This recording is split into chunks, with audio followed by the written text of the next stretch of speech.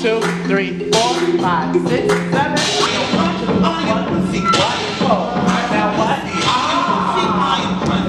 So, if you don't know what voguing is, voguing is beauty. It's a dance form.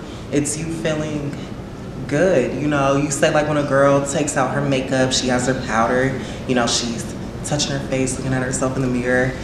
It's just you feeling good about yourself.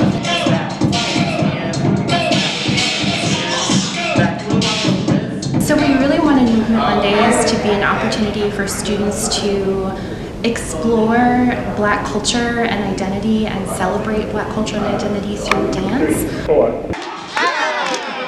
We chose the different forms of dance that we did because we wanted to highlight different um, facets of black identity and black culture and black life. Um, so we settled on house, hip hop, and Vogue, um, at least for our first go around, but I definitely think we're going to bring this, this series back.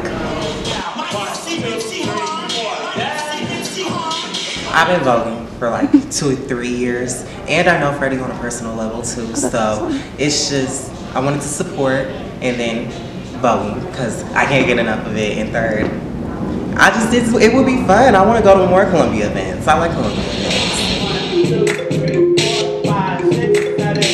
Yes.